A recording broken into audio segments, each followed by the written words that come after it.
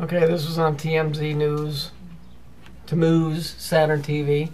Ultimate food crazes, America going cronuts. Well, first of all, let's look at the lineup. You got red and black, and then you got blue, and then you got black, and you got purple. Par for the course.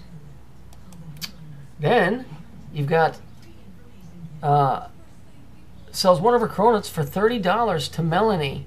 That's three. Getting really sloppy with their stories. Cronuts. Think about the word. Here's another one. They sell for five dollars each, and they only make two hundred fifty each day. That's thirty, and that's three. So what's crow nuts? Well, I knew exactly what it was when I saw it, but I'll help you out a little bit. Oh, by the way, I'm pretty sure I didn't really key on this, but that looks like those are some letters. Looks like an L, and I can't tell. I didn't blow it up. But anyway, you know everything's coded. Let's see what's going on with crow nuts. Here we go. Gaia, which is Earth, was not happy that so many of her children had been locked up in Tartarus. Remember that place where the evil guys are at? So she asked 12, that's three, Titans for, for the volunteer to help them out. Only Kronos, Cronuts is coming up, was brave enough. Gaia gave him an Adamite sickle with which to castrate the father. Remember Adamite? Remember? That's what's keeping him locked in there.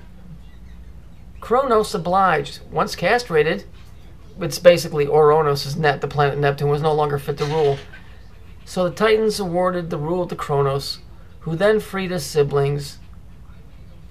But soon he re imprisoned them.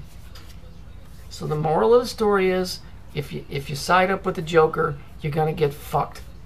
And that's exactly what happened in the Batman movies, and that's exactly what's going on here. And that's exactly the story they're pushing today with Cronuts. Because he cut his daddy's balls off. And it always goes back to the same thing, doesn't it? Saturn. Yes, I know I'm completely wrong. I'm completely off. That's what I'm saying. You gotta, you gotta wonder who's writing these stories.